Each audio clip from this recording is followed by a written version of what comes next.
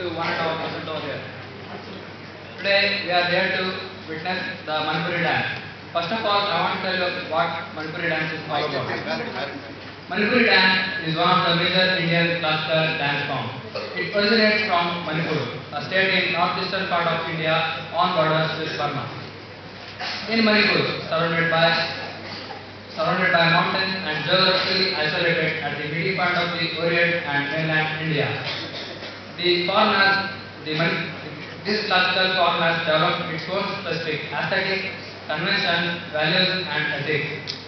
The cult of Radha and Krishna, particularly the Ras Leela, has been central to its theme, but the dance has developed some, developed some of the some of the characteristic symbols and the double-headed drum of Sankirtan into the visual performance.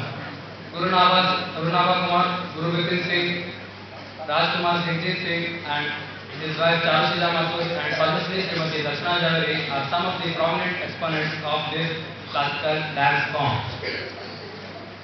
The Manipuri dance is truly religious and its aim is spiritual experience. The development of music and dance, music and dance has been to the religious, religious festivals and the daily activities of the Manipuri people.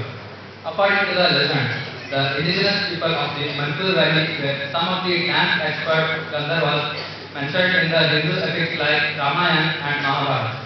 Manipuri dance is not only a medium of worship, enjoyment, adore to divine, but it is also indispensable for all socio-cultural activities.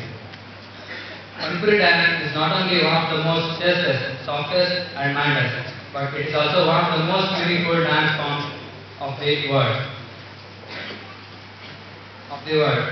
Manipuri, Manipuri dance has Manipuri dance is the culture of the culture of Manipuri Manipur is uh, the culture of Manipur is that it, it has retained some of its spiritual some of its ritual based dances and folk dances along with the later developed classical Manipuri dance and some of the classical categories, particularly the Ras Leela, a highly evolved drama, highly drama, choreographed by Vaishnavite Padavalis and choreographed on Vaishnavite Padavalis by some of the eminent Bengali poets and Manipuri gurus, which is the highest expression for the artistic genius and the excellence of Manipuri people.